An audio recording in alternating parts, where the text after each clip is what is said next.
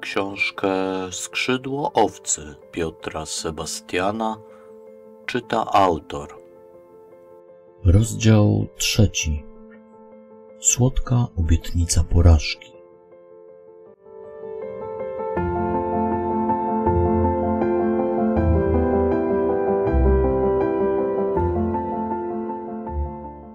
Poniedziałkowym wydaniu Le Voix de Sport na pierwszej stronie obok mojej fotografii widniał znamienny tytuł.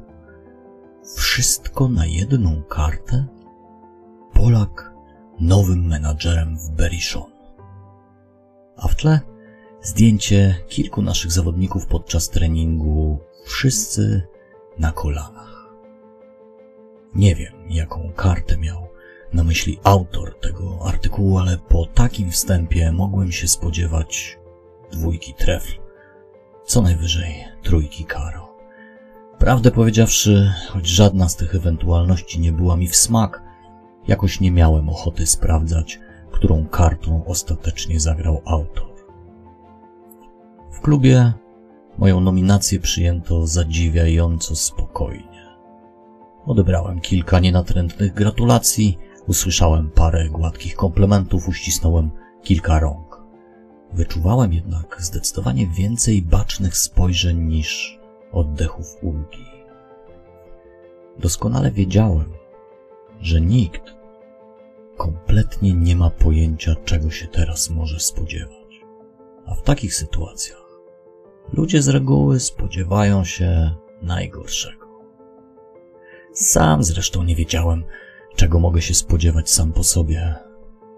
Nieoczekiwany obrót spraw zamącił mi tylko w głowie, a z gorączkowego weekendowego rozmyślania pozostał chaos i jeszcze więcej pytań.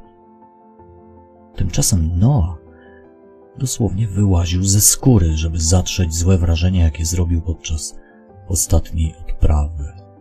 Jedyne, na co miałem tego dnia ochotę, to nie napatoczyć się na Bertranda. Dobrą stroną pracy menadżera okazała się być przeprowadzka do gabinetu, po którym z powodzeniem mogłem odtąd spacerować. Skupianie się na zaletach mojej nagłej odmiany losu dodało mi nieco pewności siebie, tym bardziej, że nie należały do nich z pewnością ani mój rozkład dnia, ani zakres obowiązków, ani kontakty z Bertrandem, którego odtąd unikać nie było już sposobu. Dobrą stroną było wszakże to, że sprawy w klubie miały wreszcie szansę potoczyć się w moim tempie. Wydawało mi się bowiem, że od teraz nikt nie będzie mi już mnożył trudności, a zewsząd wyciągną się ku mnie jedynie pomocne dłonie. I miałem rację. Wydawało mi się. Chwilowo jednak nic nie zapowiadało kłopotów. Do drużyny dołączyli dwaj nowi trenerzy, Mikel Delestre oraz Stefan Roche. Obaj mieli wesprzeć Noe w pracy z pierwszą drużyną, z tym, że obu musiałem niestety wykupić z poprzednich klubów. Co dziwne, Bertrand, odpowiedzialny za klubowe finanse, podpisywał wszystko, co tylko podsuwałem mu pod nos. Taki menadżer to ma jednak klawe życie. Myślałem, pamiętając przecież doskonale, jakie bitwy toczyłem jeszcze niedawno z Bertrandem o każde wydawane przeze mnie euro. Tymczasem teraz, bez najmniejszego wahania, Bertrand zaakceptował obydwa wydatki. Ba, także opłatę za wykupienie kontraktu Marka Jóźwiaka, skauta warszawskiej Legii, który nieoczekiwanie wyraził zainteresowanie pracą w naszym klubie. Pojawienie się nowych skautów było nieuchronne. Zmuszony byłem jakoś wesprzeć Daniela, który przejął po mnie kierowanie bankiem informacji. Tym bardziej, że wraz z moim awansem zabrałem mu Patrycję, nie widząc możliwości poradzenia sobie z nowymi obowiązkami bez pomocy asystentki. Tym samym rozpoczęliśmy poszukiwania nowych ludzi, a los sprawił, że Marek Jóźwiak miał być pierwszym z nich. Oczekiwane i pożądany przeze mnie Fernandesz nie pojawił się na testach ani w poniedziałek, ani we wtorek. Pojawił się w środę. Nieustępliwy Daniel nie wypuścił naszej zdobyczy z garści, choć rzeczywiście agentowi zawodnika komórka rozładowywała się niemal dwa razy dziennie. I choć prasa huczała od spekulacji, a lista klubów, z którymi był kojarzony Fernandesz, zajęła w Lekip cały akapit, nie zamierzałem się poddawać, tym bardziej, że już na pierwszym treningu przekonałem się ponownie, jak dalece mylił się Borges, wątpiąc w umiejętności tego piłkarza. Prawdziwa burza z piorunami nadeszła tradycyjnie w piątek.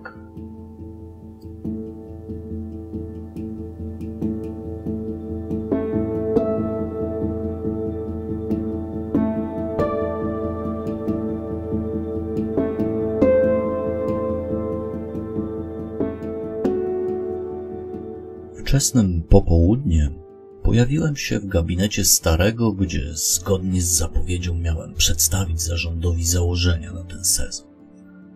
Nic wielkiego. Ani w moich celach, ani w propozycjach nie było niczego, o czym by nie wiedzieli. Wszystko przemyślane, przedyskutowane i rozebrane na czynniki pierwsze tysiąc razy. Słowem formalność. Szybko okazało się jednak, że ta rzekoma formalność zepchnęła wszystkie inne pomiędzy dziecięce wyliczanki.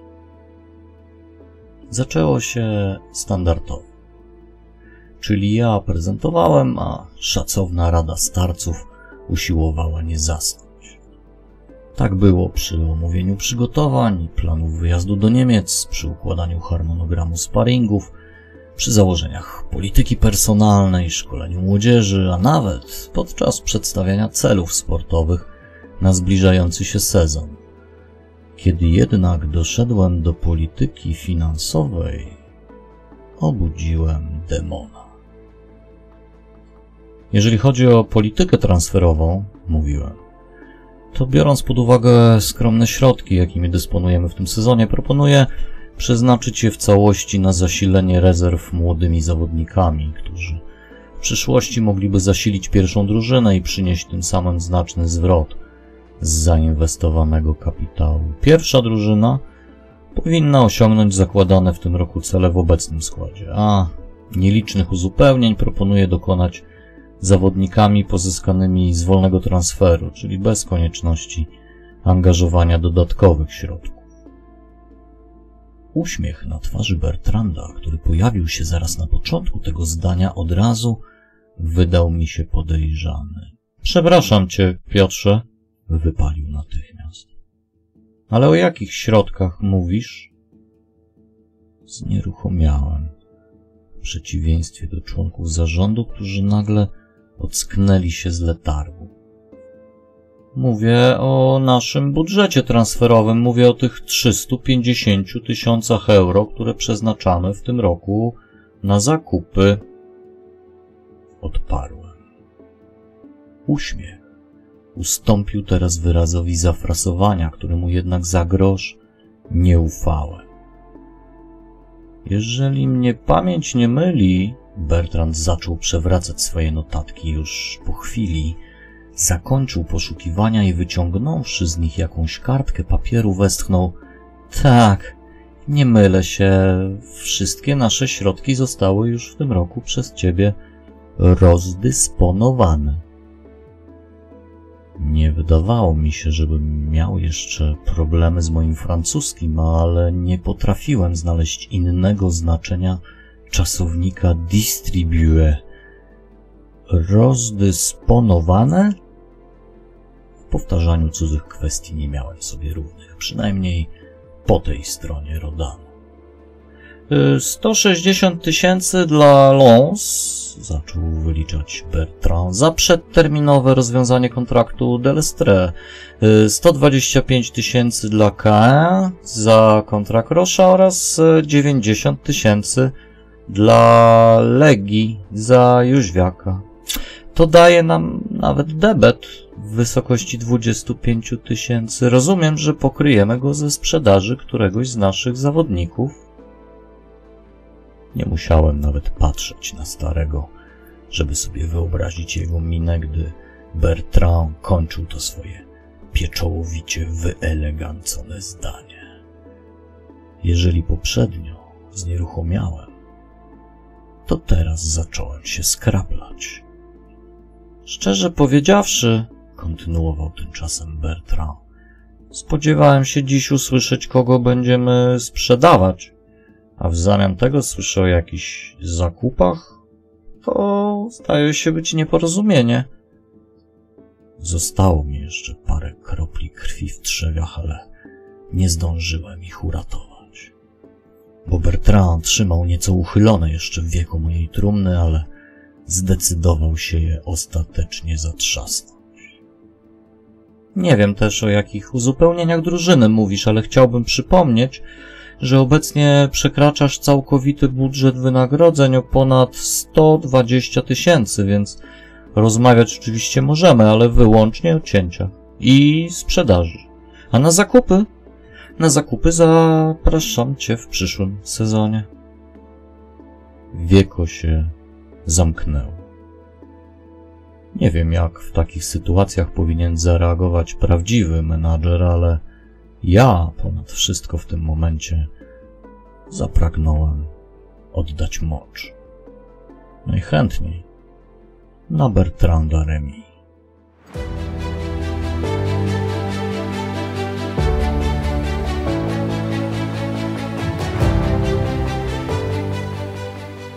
Patrycja nie miała okazji pochwalić mi swoim ostatnim sukcesem, jakim było niewątpliwie zdobycie biletów na festiwal w Nyon, bo natychmiast po powrocie do gabinetu wrzasnąłem. W ciągu kwadransa chcę u siebie widzieć wszystkich. To znaczy kogo? zapytała zdziwiona. Tout monde! Zbierali się 25 minut i może dobrze, bo dzięki temu temperatura zdążyła mi już spaść do 41 stopni z ledwością. Pomieścili się w obszernym skądinąd gabinecie i kiedy spojrzałem na nich teraz, zdałem sobie sprawę, jaką armią przyszło mi kierować od dnia dzisiejszego. Starałem się każde słowo stawiać tak wyraźnie, żeby mój polski akcent nawet nie miał szansy się przebić. Wszystkie dokumenty dotyczące najmniejszego centa, którego chcielibyście wydać, lądują na tym biurku. Uderzenie w stół nie było konieczne. Biurko to biurko, ale rozkosz zadanego sobie bólu przyniosła ulgę.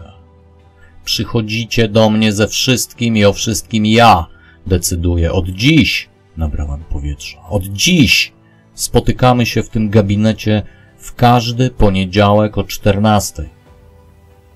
Chcę podczas tych spotkań widzieć raporty z realizacji waszych zadań w poprzednim tygodniu oraz plany na tydzień kolejny. Do Patrycji mają trafiać kopie wszystkich analiz, ocen i umów.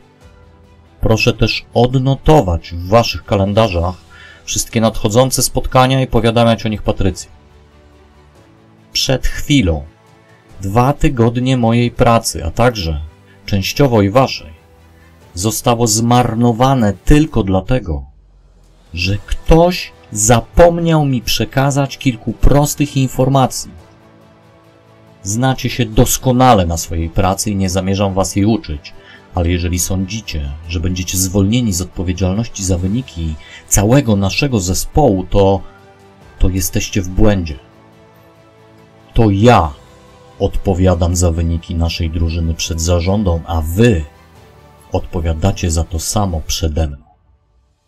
Jeżeli ta drużyna przegrywa, przegrywam ja. A jeżeli przegrywam ja, przegrywacie wy. Wszyscy.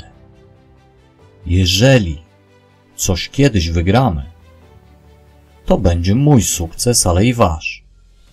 Będziemy się dzielić porówni, porażkami i zwycięstwami, a dziś przegraliśmy wszyscy. Nie musiałem dodawać nic więcej, ale nic więcej nie miałem. do powiedzenia.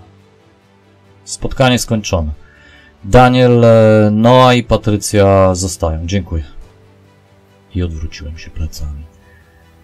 Wychodzili tak cicho, że musiałem kilka razy upewnić się, czy już na pewno zostaliśmy sami. Noa, powiedziałem, kiedy drzwi się zamknęły. Nie spojrzałem na niego zbyt serdecznie, ale głos miałem już spokojny. Przynieś mi kontrakty wszystkich zawodników e, razem z aneksami, premiami, nagrodami, opłatami. Chcę zobaczyć każde euro, które wydajemy na ich pensję. Każde euro. I każde, które możemy wydać, a także każdego centa, który wypada im w szatni ze spodni. Kiwnął tylko głową.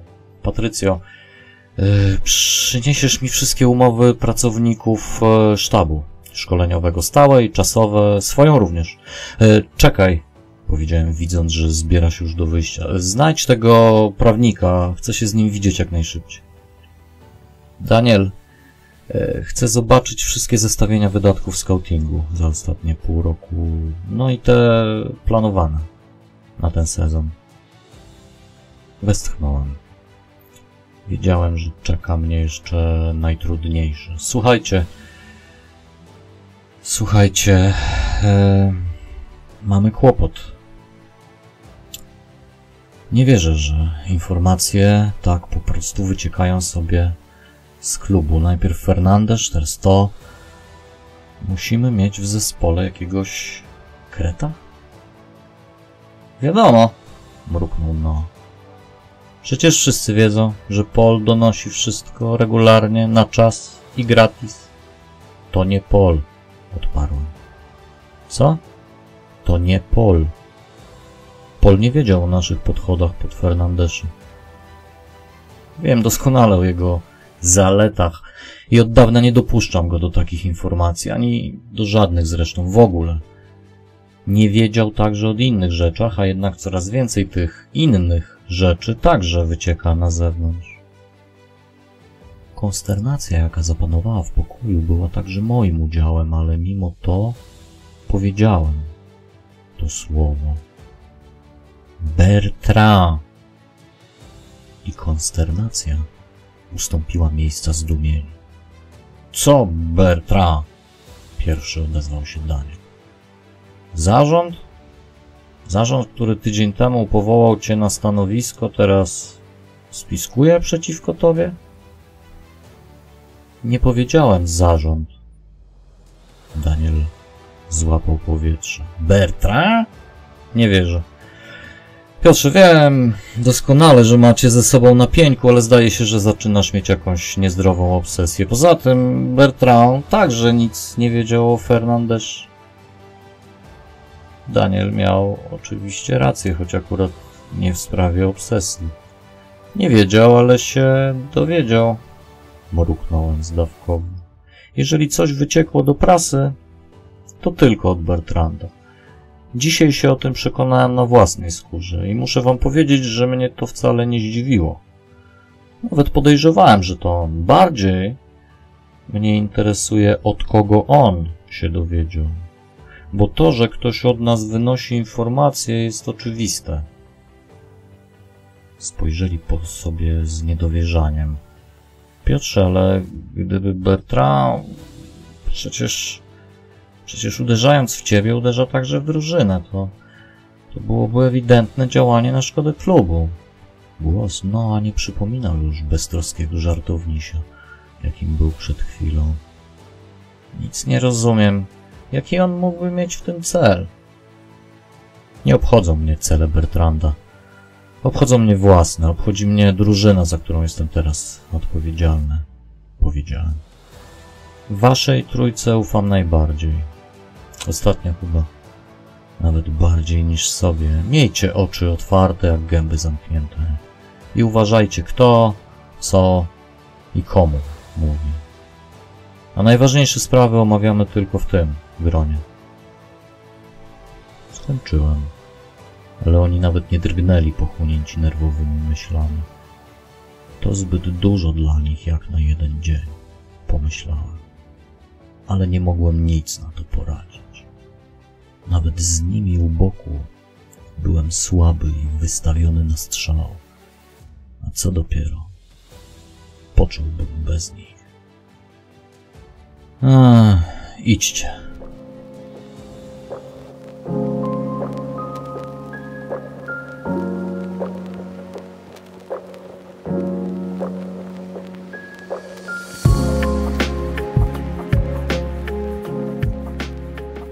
Nie wierzyłem, że będę tej niedzieli wypatrywał z utęsknieniem.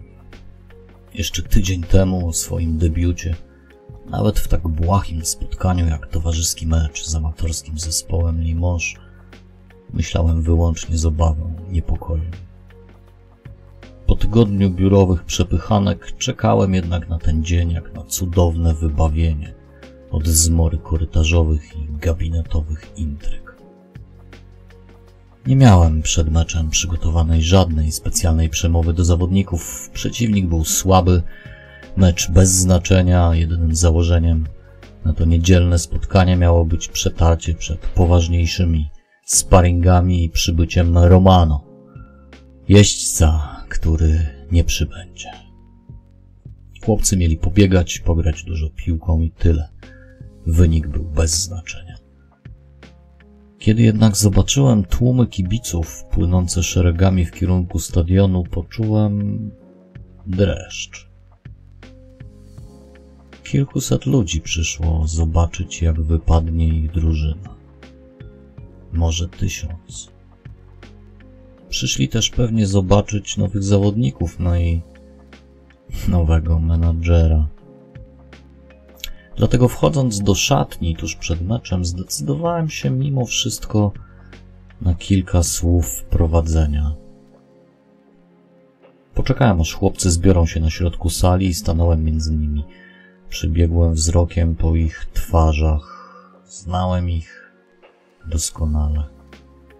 Większość, zanim trafiła do klubu, przeszła najpierw przez moje ręce. Obserwowałem ich występy w poprzednich drużynach, akta znałem na pamięć. Wielokrotnie rozmawiałem z ich agentami, trenerami, czasami nawet z rodzicami.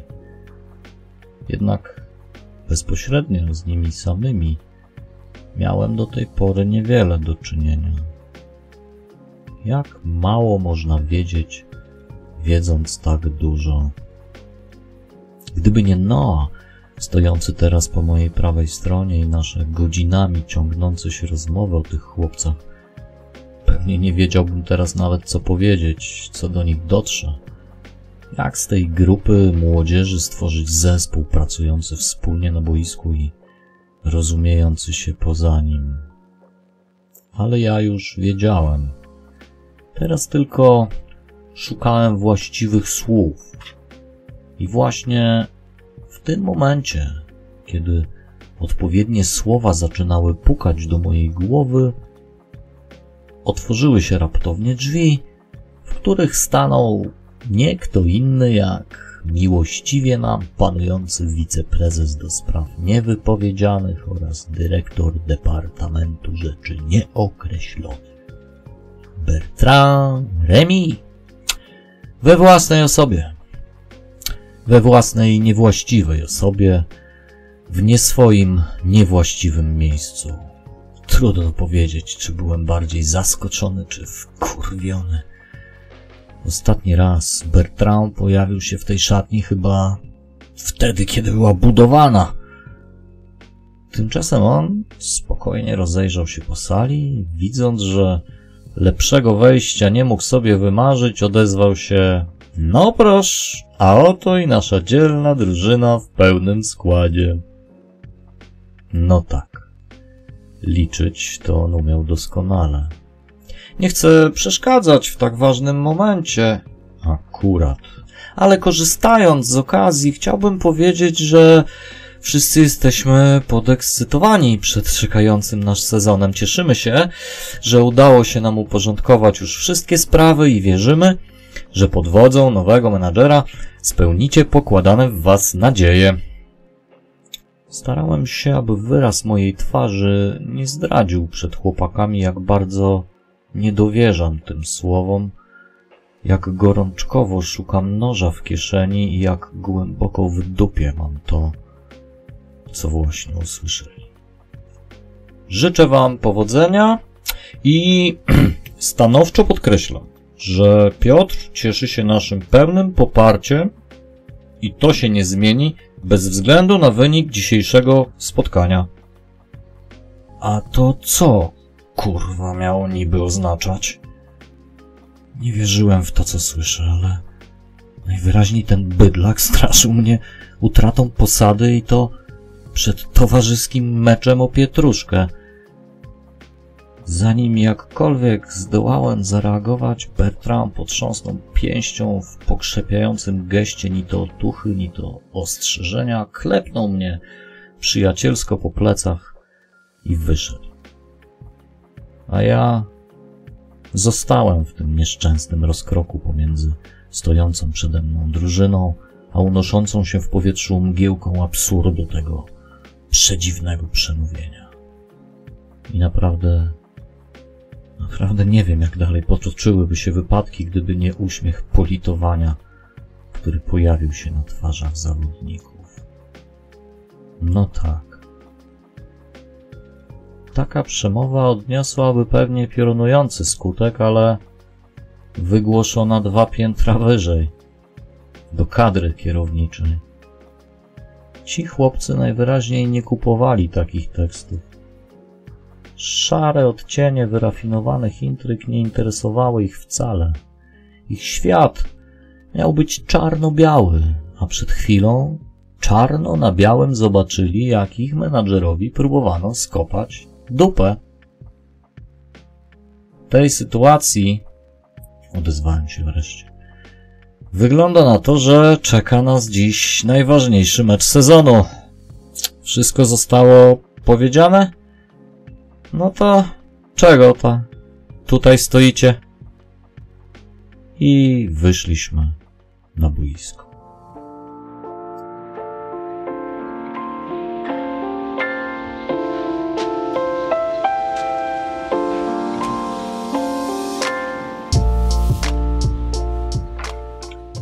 Nie pamiętam ani pierwszej strzelonej bramki, ani ostatniej. Pamiętam tylko, że na trybunach trwał piknik i festiwal śpiewów. Na koniec dostaliśmy fantastyczne brawa od kibiców, a w drodze do szatni towarzyszyły mi rozpromienione twarze zawodników. 17 bramek, które strzeliliśmy biednemu Limoges, jakkolwiek mogło napawać optymizmem, nie zmieniało mojej pewności, że z pierwszym oficjalnym meczem ligowym Dzisiejsze okazałe zwycięstwo odjedzie w niepamięć. Do historii przechodzą bowiem nie defilady, a wyłącznie bitwy. Do biura wróciłem dopiero późnym popołudniem. Po meczu przekazałem chłopcom w szatni jeszcze na gorąco wszystkie spostrzeżenia z boiska, a potem spędziłem z Noa oraz Mikelem i Stefanem, naszymi nowymi trenerami, niemal trzy godziny w pokoju odpraw, analizując dokładnie mecz i planując zajęcia na dwa najbliższe dni. O tej porze biuro było już puste. W kuchni zaparzyłem sobie kawy, bo zamierzałem jeszcze uporządkować notatki na temat poszczególnych zawodników, ale natychmiast, kiedy tylko wszedłem do gabinetu, mój wzrok przyciągnęło duże, białe pudełko stojące na biurku. Wystarczył rzut oka, aby stwierdzić, że zostałem najwyraźniej przez kogoś obdarowany wypiekiem z pobliskiej cukierni.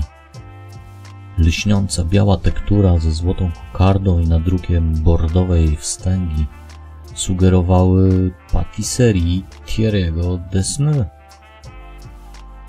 A gratulacje było zdecydowanie zbyt wcześnie, więc jedynie czego się spodziewałem to może wyrazu sympatii tego miejscowego cukiernika. Wielokrotnie byłem świadkiem takich miłych gestów ze strony kibiców. Nieduża społeczność naszego miasteczka była bardzo zżyta z klubem, a klub z nią. Tak czy owak, Najwyraźniej rozmiary naszego dzisiejszego zwycięstwa zrobiły na kimś nieodparte wrażenie. Uchyliłem kartonowe wieko, pod którym schował się całkiem spory tort, a na nim jedna świeczka. Obok w małej foliowej koszulce leżał bilet wizytowy. Odstawiłem kubek z kawą i z ciekawością zerknąłem do środka. Biała sztywna kartka mieściła tylko wykaligrafowaną sentencję. Miłe, złego początki. Żadnego podpisu. Tak, nasze dzisiejsze zwycięstwo rzeczywiście zrobiło na kimś nieodparte wrażenie. Ciekawe, co będę dostawał po porażkach w lidze. Zgasiłem górne światło, zapaliłem świeczkę na torcie i ukroiwszy sobie solidny kawałek, wziąłem się do pracy.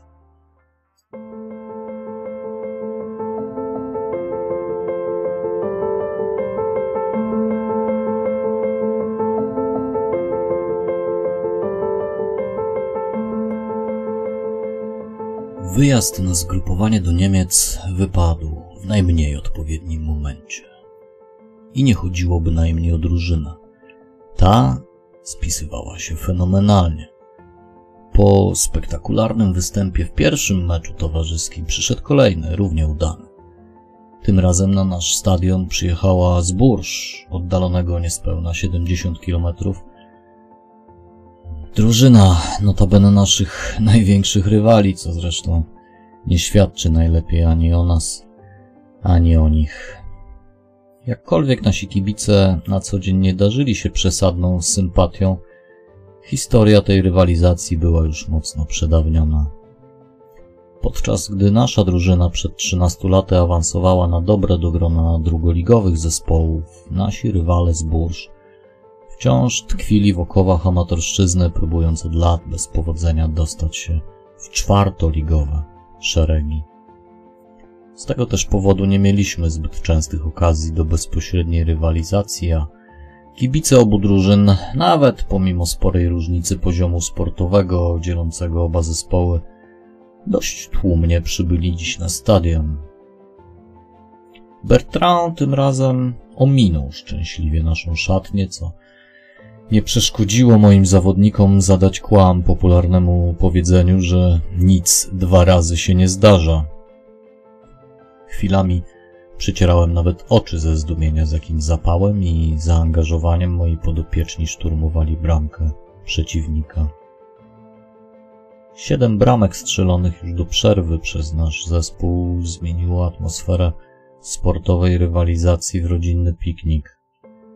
Kibice radośnie zawiązywali na trybunach nowe przyjaźnie, a moi chłopcy dorzucili w drugiej połowie jeszcze dziesięć bramek, powtarzając wynik z pierwszego sparingu.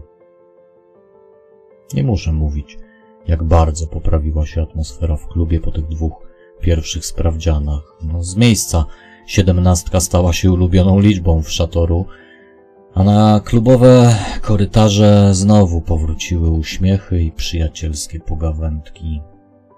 Wspaniale spisali się w obu spotkaniach, testowali Pierre Fanfan oraz Fernandes, któremu natychmiast złożyłem propozycję podpisania stałego kontraktu. Pełni spontanicznych odruchów kibice wydzwaniali do radia i wypełniali fora internetowe wypowiedziami pełnymi nadziei optymizmu, aczkolwiek kolejnego tortu już nie dostałem. Nie dałem się zresztą ponieść temu radosnemu nastrojowi. Wszystko wskazywało, że to po prostu syndrom nowej miotu. Okres, w którym następuje krótkotrwała mobilizacja i motywacja wszystkich zawodników w związku z desantem nowego Napoleona, przed którym należało się przyzwoicie zaprezentować. To na ten syndrom liczą wszyscy właściciele klubów, zmieniając menadżerów w trakcie nieudanego sezonu. Nie zmieniło to faktu, że drużyna spisywała się znakomicie i to nie ona była powodem, dla którego moment wyjazdu do Niemiec przyjąłem z niezadowoleniem. Zaczęło się jeszcze przed naszym pierwszym meczem towarzyskim z Limoges, kiedy zupełnie niespodziewanie w klubie zjawił się Steve Marle. Tak, ten sam Marle, za którego latem 2001 roku Fulham zapłaciło ponad 14 milionów euro, co zresztą latami stanowiło niechlubny rekord angielskiego klubu. Tego byłego gwiazdora Marsylii, Lyon przywiózł do Châteauroux ze swoich amerykańskich wojaży nie kto inny jak mój ukochany szefunio. W skrócie MUS. Spotkali się gdzieś w Chicago, gdzie Steve szukał bezskutecznie nowego pracodawcy, od, odkąd w zeszłym roku francuskie Lorient rozwiązało z nim kontrakt. Agent Steve'a natychmiast wziął sprawy w swoje ręce, opakowując towar w błyszczący i perfumowany papier, dzięki czemu Bruno z marszu zobaczył oczyma wyobraźni seriami zdobywane przez niego bramki na Gaston Petit. A gdy wyobraźnia dorysowała mu do tego wieniec laurowy i zaczynała szkicować kontur antycznego kielicha, opłacił czym prędzej bilet do ojczyzny i przywiózł do klubu w charakterze, jeżeli nawet nie trofeum, to na pewno naszej nowej, tajnej broni. Był tylko jeden problem, a w zasadzie więcej niż jeden. Marle miał 34 lata, gwiazdorską przeszłość i gwiazdorskie zapędy, a ostatni raz grał na serio w piłkę przeszło 12 miesięcy temu. Staremu oczywiście to nie przeszkadzało, ba. On nawet cieszył się, że dzięki temu zdobędziemy za darmo i od ręki świetnego napastnika. Obawiałem się, że tylko za darmo i od ręki okaże się z tego prawdą, ale cóż, MOS to mus. Obiecałem na odczepnego, że go przetestuję, wiedząc, że koniec końców i tak stary nie odważy się wkroczyć na mój teren, ingerując w decyzje dotyczące kompletowania składu. Przekazałem go w ręce Noa bez żadnych ogródek, informując, że ma wycisnąć z naszej gwiazdy siódme poty, a gdyby się udało, to nawet i ósme. Widok żygającego przy bieżni Steve'a Marle doskonale wkomponowałby się w nowy wizerunek mojej drużyny.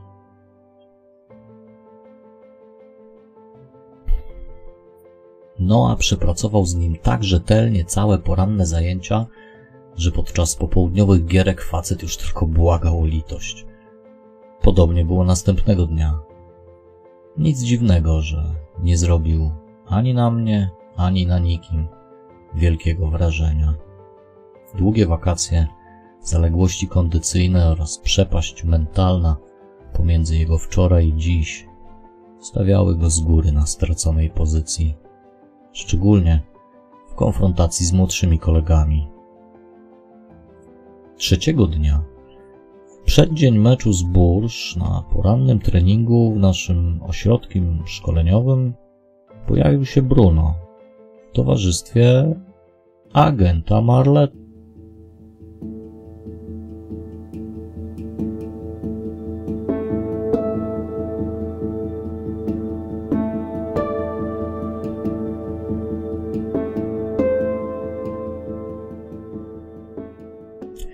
Siedziałem jak zwykle na trybunie w czwartym rzędzie, skąd mogłem dużo wygodniej obserwować toczące się właśnie wewnętrzne gierki. Zawodnicy podzieleni na cztery sześcioosobowe zespoły grali równocześnie dwa mecze na sąsiadujących ze sobą małych boiskach, które zwykle ustawiamy w poprzek głównej płyty tak, aby piłkarze zmuszeni byli walczyć ze sobą na mniejszej przestrzeni. Bruno z agentem przysiedli się w milczeniu, siadając tuż za mną w kolejnym rzędzie krzesełek, nieco wyżej, po prawej stronie. Ale już po chwili obserwowania trwających zajęć Bruno bezceremonialnie zaczął. Myślę, że najwyższa pora porozmawiać o kontrakcie Steve'a. Oderwałem wzrok od boiska, odwróciłem się do nich i uważnie spojrzałem najpierw na Bruna, a potem na towarzyszącego mu agenta, po czym bez słowa wróciłem do obserwowania zawodów. Bruno znał mnie doskonale i wiedział, że w ten sposób daje mu wyraźnie do zrozumienia, że ani moment na tę rozmowę jest nieodpowiedni, ani jej temat. No ale agent nie znał mnie wcale. Monsieur Sébastien, odezwał się. Mam rozumieć, że nie jest pan jeszcze gotów do rozpoczęcia rozmów? Mija trzeci dzień testów. Miał pan okazję się już przekonać co do aktualnej dyspozycji Steve'a. Zresztą to nie jest jakiś kod w worku, żeby go oglądać ze wszystkich stron. Albo już pan wie, albo szkoda naszego czasu i idziemy gdzie indziej. Zgodziliśmy się na te 7 dni testów tylko przez wzgląd na sympatię, jaką darzymy wasz klub, więc sądzę, że najwyższa pora, aby poważnie porozmawiać. Zmusił mnie do tego. Nie wierzyłem, ale zmusił mnie do tego. Aby znowu się odwrócić i przerwać obserwację drużyny. Spojrzałem na niego jeszcze raz. Był chyba lekko zirytowany moją poprzednią reakcją, co mogło oznaczać, że blefuje. Tym bardziej, że mój wywiad działał doskonale. Marle w ostatnich miesiącach szukał zatrudnienia dość gorączkowo, ale nie znalazł uznania ani w oczach Jima McGiltona, prowadzącego drugoligowy angielski Ipswich Town, ani, co gorsza, w amerykańskim Chicago Fire, który dla europejskich piłkarzy był co najwyżej ostatnią przystanią przed przejściem na emeryturę. Myśmy chyba jeszcze nie mieli okazji. Jak się pan nazywa? Spytałem spokojnie, choć jego akta trzymałem otwarte na biurku od dwóch dni. Pascal Boisseau, a nie mieliśmy okazji, bo widzi pan, w mojej agencji rzadko angażujemy się tak bezpośrednio w sprawy z dala od e, Paryża. Nie uważałem, żeby te niespełna 300 kilometrów, które dzieliły Châteauroux od stolicy Francji, były jakimś wartym uwagi dystansem. A do przytyków dotyczących naszej prowincji zdążyłem się już przyzwyczaić, ale postanowiłem skorzystać z okazji, zabawić się kosztem rekina, który tak ochoczo wpłynął na naszą mieliznę. Monsieur Boisseau, powiedziałem. Skoro pana czas jest tak cenny, a moja uwaga podczas treningu podzielona mimo wszystko dość nierówno pomiędzy mój zespół i gości z Paryża, proponuję, żeby wrócił pan na Boulevard de la Libération. Zadzwonimy do pana. Jawna aluzja do adresu jego agencji w Paryżu musiała chyba ujść jego uwadze, skoro na pierwszy plan postanowił wydobyć równie zresztą jawną zniewagę. Ale my nie mamy telefonu, rzucił. Miałem dwa wyjścia. Ciągnąć tę kretyńską wymianę zdań, albo ją zakończyć. Proszę nie nadużywać mojej gościnności. Steve przyjechał do nas na tygodniowe testy i pozostanie na nich do końca. Jak na razie prezentuje się wystarczająco beznadziejnie, żebym na pańskie usiłowanie stawiania mi twardych warunków mógł bez trudu odpowiedzieć, żebyście sobie poszli gdzie indziej. Gdziekolwiek by to nie było. Chociaż jest pan na prowincji, nie ma pan do czynienia z wieśniakami. Odrobiłem swoją lekcję, panie Błaso. I wiem, gdzie już byliście i jak wam się tam wiodło. Jeżeli nie odprawiłem was z kwitkiem już drugiego dnia, to tylko przez wzgląd na sympatię, jaką darzę nasz klub. Akcent postawiony wyraźnie na naszym klubie wywołał niemały uśmiech na twarzy starego. Gościa tymczasem zatkało. I dobrze. Nie chciałem go odprawiać osobiście. Bruno go tu ściągnął i wolałem, żeby to on go pożegnał. Widzę, że moment jest nieodpowiedni, wtrącił Bruno. Nie ma jednak potrzeby tworzyć nieporozumień. Wrócimy jeszcze do tego. Boisseau obruszył się, widząc, że nic nie wskórał. Wymownie odwrócił się w kierunku boiska, marszcząc brwi. Bruno wstał, poprawiając marynarkę i dając tym samym znak, że nie ma sensu kontynuować tej rozmowy. Agent poszedł w jego ślady, ale najwyraźniej należał do tego gatunku ludzi, którzy muszą mieć ostatnie słowo. Nie jest pan konsekwentny, rzucił. Jeżeli, jak pan mówi, Steve wyłącznie rozczarowuje, to po co chcecie trzymać go przez kolejne cztery dni? Jeżeli zaś widzi pan jakąś szansę na wzmocnienie drużyny, to nie rozumiem, dlaczego nie, nie moglibyśmy rozpocząć rozmów już teraz. Stary natychmiast się poruszył, spodziewając się mojej kolejnej zdecydowanej reakcji i tego, że za chwilę nastąpi następna niepotrzebna wymiana zdań, będąca już zarzewiem otwartego konfliktu. Ale ja nie zamierzałem toczyć żadnych słownych pojedynków. Wypowiedź Boisseau podziałała na mnie nadspodziewanie dobrze. Zawsze ceniłem sobie inteligentnych rozmówców, a trudno było odmówić racji rozumowaniu agenta. Natychmiast przyszedł mi do głowy pewien pomysł. Rzeczywiście, po co ciągnąć jeszcze przez cztery dni coś, co możemy zakończyć tu i teraz? Odwróciłem się do nich ponownie i nie wstając z miejsca spojrzałem na Błaso. Jak brzmi pana propozycja? Zapytałem. Błaso początkowo nie chciał chyba uwierzyć, że mimo wszystko podjąłem wyzwanie, ale po chwili zastanowienia, widząc na sobie również pytający wzrok starego, zaczerpnął powietrza i wypalił dwuletni kontrakt na 200 tysięcy rocznie plus premia za występ. Uśmiechnąłem się na tyle wyraźnie, żeby moje rozbawienie było widoczne. To jest propozycja dla gracza pierwszego składu, a ja wątpię, czy Steve będzie choćby jego uzupełnieniem.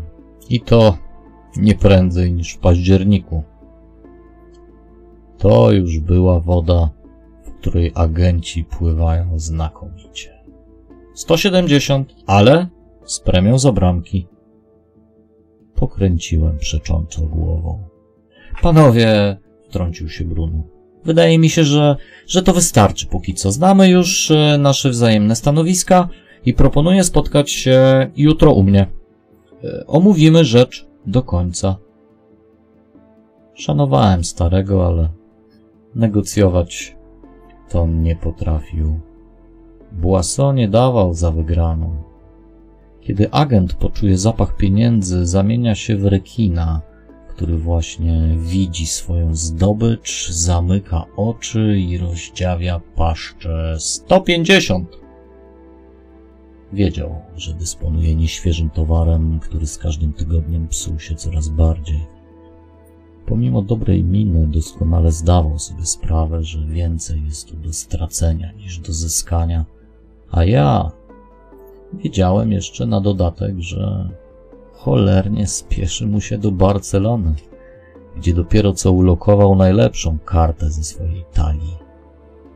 Kilkumilionowy kontrakt Saidu Keity katalońską drużyną nie był wart nawet jego telefonu do Chateauroux, a tym bardziej przepychanek z jakimś prowincjonalnym menadżerem.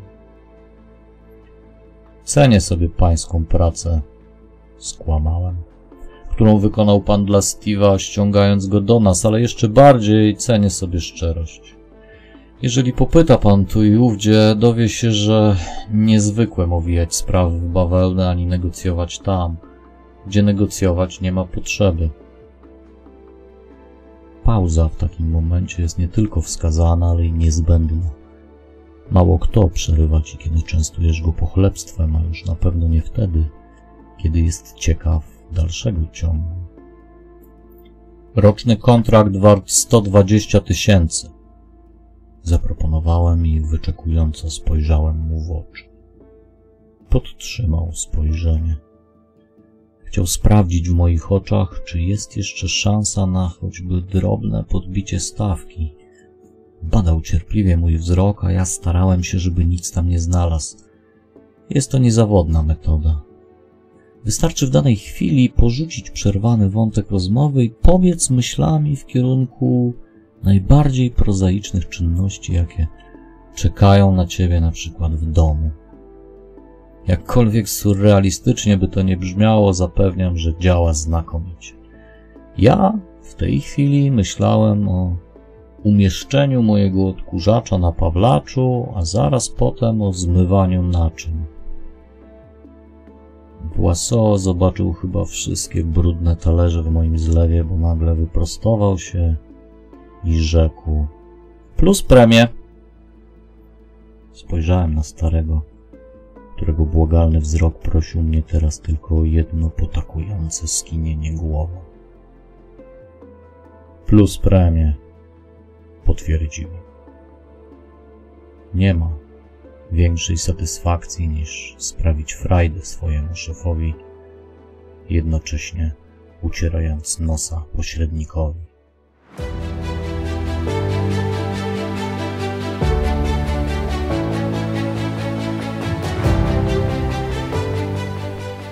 Następnego dnia, kiedy Bruno wezwał mnie do gabinetu, byłem przekonany, że chodzi o uzgodnienie ostatnich warunków kontraktu Steve'a Marleta. Tymczasem stary nawet mi nie pozwolił usiąść, tylko wypalił bezceremonialnie.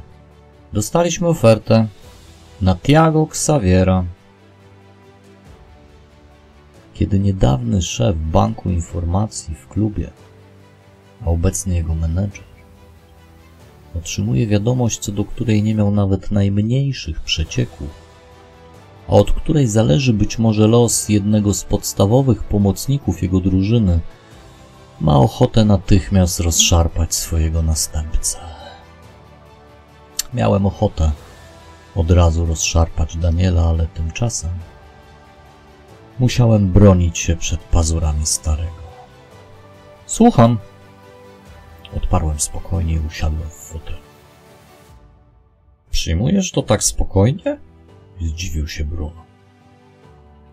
Są różne strategie kontrataku. Moją ulubioną był przyczajony tygrys. Nie mam czasu na inscenizację. Mów co wiesz i wracam do roboty. Bruno zmarszczył brwi i przyjrzał mi się wnikliwie. Czuł jakiś podstęp i oczywiście miał rację, stary wyga. Portugalskie Nacional de Madeira pyta, ile chcielibyśmy za definitywny transfer Tiago. Czyli nie ma żadnej oferty. No, w sumie nie. To nie było pytanie, Bruno. Wszedłem w słowo. Skoro przysłali wyłącznie zapytanie, no to nie ma żadnej oferty, a skoro nie ma oferty, to nie ma sprawy. Jest sprawa, wypalił od razu. Trzeba im coś odpowiedzieć. Jakbym tego nie wiedział. Pomyślmy. Przygryzłem wargi i potoczyłem wzrokiem po gabinecie, przeszukując jednocześnie zakamarki mojej czaszki. Portugalia, Nacional w zeszłym sezonie było gdzieś w środku stawki. Są pewnie ze dwa razy bogatsi od nas, ale chcą mieć naszego Brazylijczyka. Dobra. Będą go mieli za 400 tysięcy. Wstałem, a Bruno za nie mówił. Nie mógł chyba uwierzyć, że podjąłem decyzję od tak, z głowy, w 20 sekund i to bez zbędnych przepychanek. Jak to? Oddajesz go tak po prostu? Nie tak po prostu. Za 400 tysięcy euro. I bierz gotówkę do ręki. Żadnych srad, rad, promocji.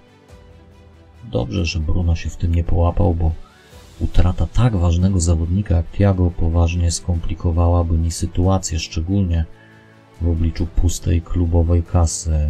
Z drugiej strony, jeżeli Portugalczycy zapłaciliby nam za Thiago te cztery stówy, kasa wypełniłaby się żywą gotówką, a ja własnoręcznie zasadziłbym sobie kaktus meksykański w ogródku. Albo nie. Cztery. Po dwa euro za sztukę.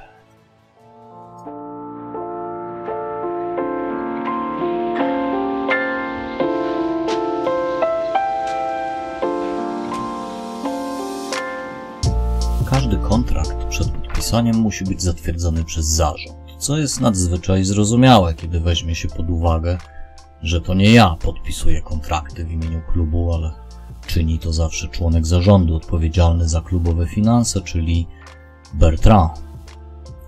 Nie spodziewałem się jednak żadnych problemów z kontraktem Steve'a Marle, bo inicjatywa w tym względzie leżała przecież po stronie starego i miałem pewność, że w razie jakichkolwiek wątpliwości Bruno sam weźmie Bertranda w obroty i rzeczywiście. W środę rano Patrycja dała mi znać, że kontrakt Marle został podpisany. Sprawę uznałem za zamkniętą. Zwieńczeniem miała być bramka zdobyta przez Marle w wieczornym meczu z Bursz. Zaskoczenie przyszło jak zwykle w najmniej odpowiednim momencie. W tym przypadku było to w dniu wyjazdu na zgrupowanie do Niemiec.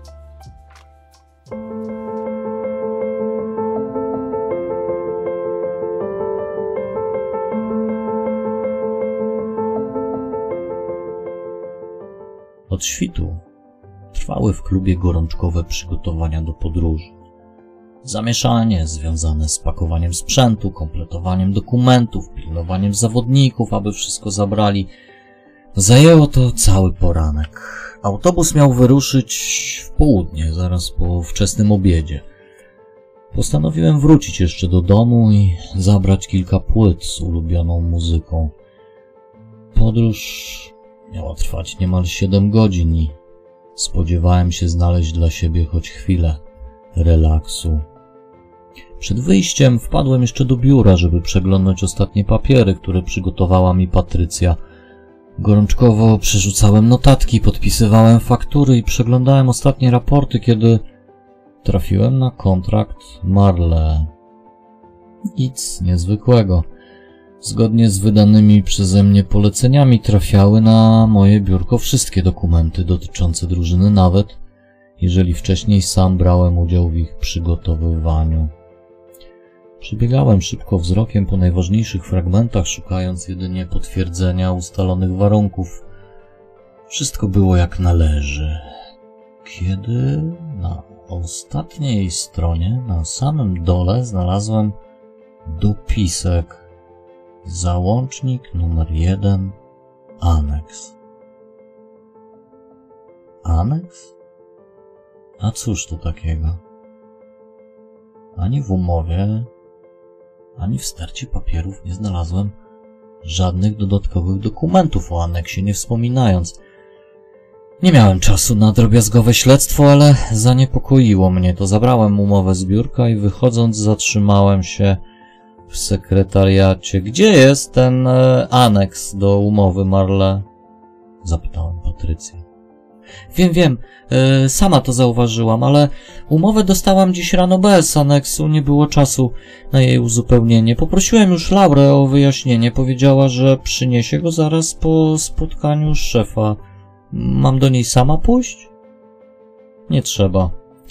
Zadzwonię do starego z drogi. Wyszedłem. Bruno nie odbierał.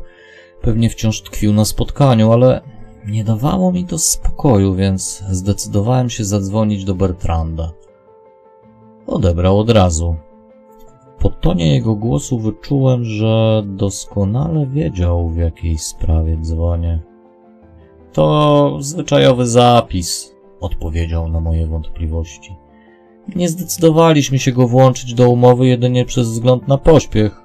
Prawnicy parafowali już główną umowę, więc dodatkowe zmiany spowodowałyby niepotrzebne opóźnienie. E, czego to dotyczy? Zapytałem niespokojnie.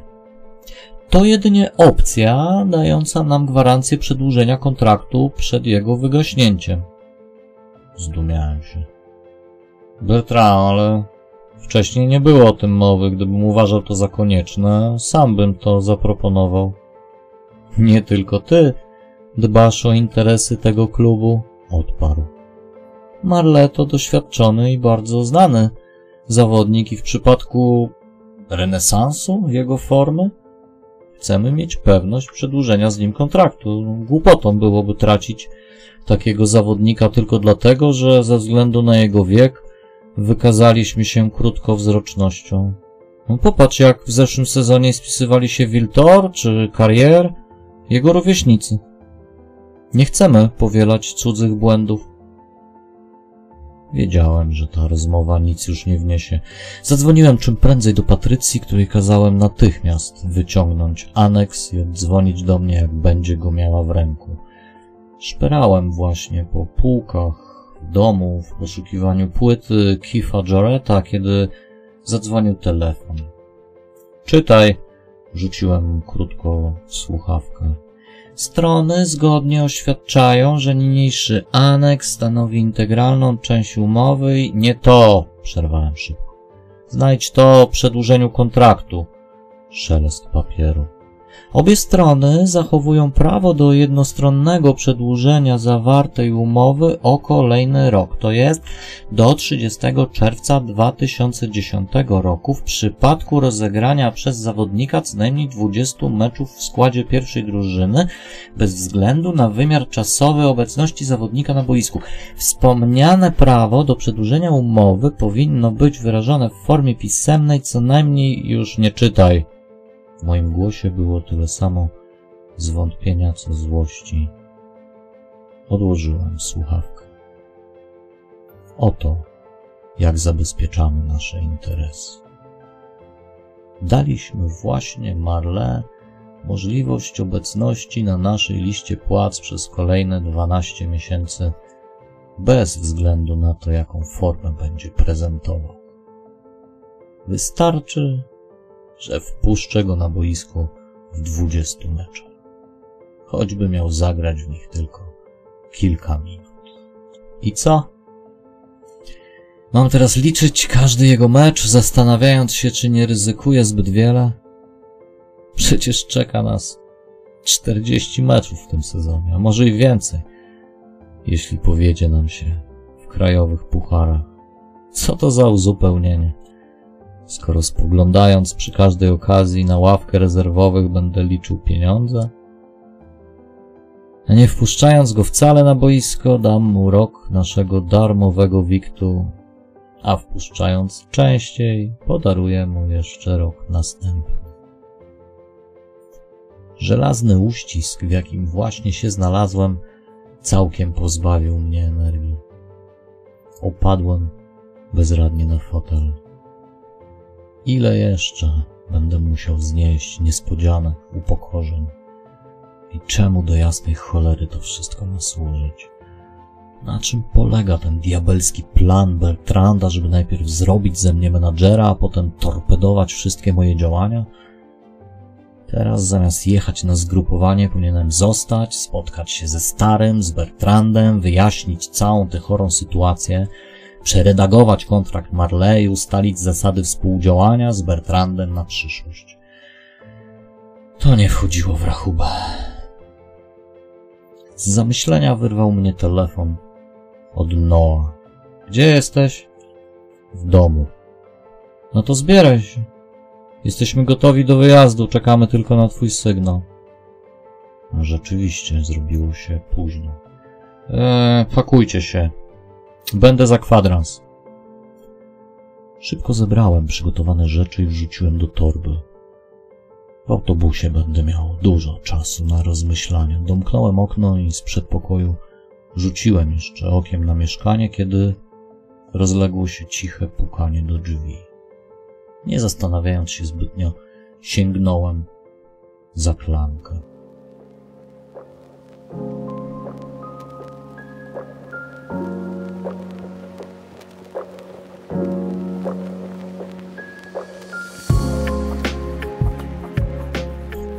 To dlatego wszyscy namawiają nas do zastanawiania się, zanim się coś zrobi, a nie potem czy w trakcie, bo taka bezmyślność zawsze prowadzi do zaskoczenia. Moja prowadziła, choć akurat w tym przypadku nawet najdłuższe zastanawianie się nic by nie pomogło. W otwartych drzwiach mojego mieszkania stała Nadia? Ostatnia osoba, której bym się spodziewał. Czarne włosy opadające na ramiona były znacznie dłuższe od tych, które zapamiętałem. Niewinny uśmiech się nie zmienił. Ciekawe, czy kryło się za nim to, co zwykle. Nadia! No bo cóż innego mogłem powiedzieć. Oto jestem. Cieszysz się? Mistrzyni. Mistrzyni pytań, na które nie ma dobrych odpowiedzi. Umiarkowanie. Przynajmniej na tyle szczerości byłem w stanie się zdobyć. Nie zdjęło to uśmiechu z jej twarzy, ale nieco wstrzymało rozmowę w wejściu do drugiego jej etapu, którego nieuchronność już czułem, a ochotę na nie miałem wątpliwą. Spojrzała ponad moim ramieniem w głąb mieszkania. To taki nienachalny przejaw natręctwa, czyli niewypowiedziana sugestia zaproszenia do środka. Nie zamierzałem jej niczego ułatwiać. No tak, powiedziała i spuściła wzrok w niewinnej pozie. Mężczyzna jest bezbronny tylko przed dwoma kobietami. Matką, bo ta dysponuje fotograficzną pamięcią wszystkich jego wstydliwych momentów z dzieciństwa i byłą narzeczoną, bo ona z kolei dysponuje fotograficzną pamięcią całej reszty. Kiedy ostatnio się widzieliśmy, Nadia nie przypominała mi mojej matki, a do roli idealnej narzeczonej brakowało jej jedynie chrzty nieśmiałości i całego oceanu niewinności. Tym razem oferowała mi obie te rzeczy w nadmiarze i robiła to z wdziękiem. Stała w drzwiach mojego mieszkania, wyglądając na opuszczoną i zagubioną, ale równocześnie cała jej postać jakby oddawała się z ufnością w moje ręce. Nigdy czegoś takiego nie widziałem. Nie wpuścisz mnie? Zagadnął. I cóż poradzisz na to mężczyzno, któremu natura dała silny grzbiet, mocną skroń i kamień do ręki, a jesteś bezbronnym dzieckiem w obliczu najmniejszego ruchu skrzydeł motyla. Wejdź. Oczywiście wejdź. Dopiero teraz zauważyłem torbę w jej ręku. Pierwszą rzecz, na jaką powinienem od razu zwrócić uwagę i pierwsza rzecz, którą od razu przeoczyłem. Minęła mnie w progu, a przechodząc obok uniosła się delikatnie na palcach i musnęła mój policzek w niezgrabnym, niezręcznym pocałunku. Pamięć mięśniowa jest jak uśpiony wulkan. Miecz wypadł mi z ręki. Weszła i stanęła na środku pokoju, przybierając ewidentną postawę gościa, nieproszonego i tym samym nieco skrępowanego swoją własną obecnością. Teraz powinna się zacząć gra w może usiądziesz, co u ciebie, ale uchłonąwszy z pierwszego wrażenia i kompletnego zdumienia jej wizytą, zdałem sobie sprawę, gdzie jestem i gdzie być powinienem. Tak, powiedziałem, zamknąwszy drzwi. Trzeba ci przyznać, że umiesz wybrać sobie właściwy moment na wizytę. Spojrzała na mnie tak, jakbym co najmniej usunął jej ziemię spod stóp.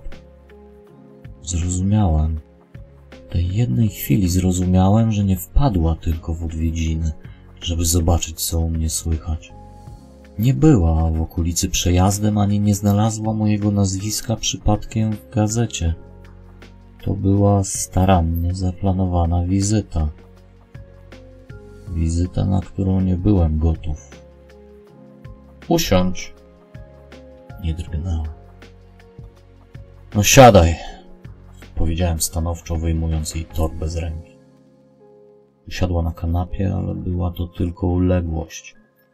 Jej wdzięk i czarująca swoboda z pierwszych sekund naszego spotkania w drzwiach ulotniły się już bez śladu. Spuściła głowę i kładąc dłonie na kolanach zajęła się skubaniem swoich palców. Takiej Nadii nie znałem. Usiadłem w fotelu naprzeciwko. Dobrze wiedzieć, że jesteś cała i zdrowa.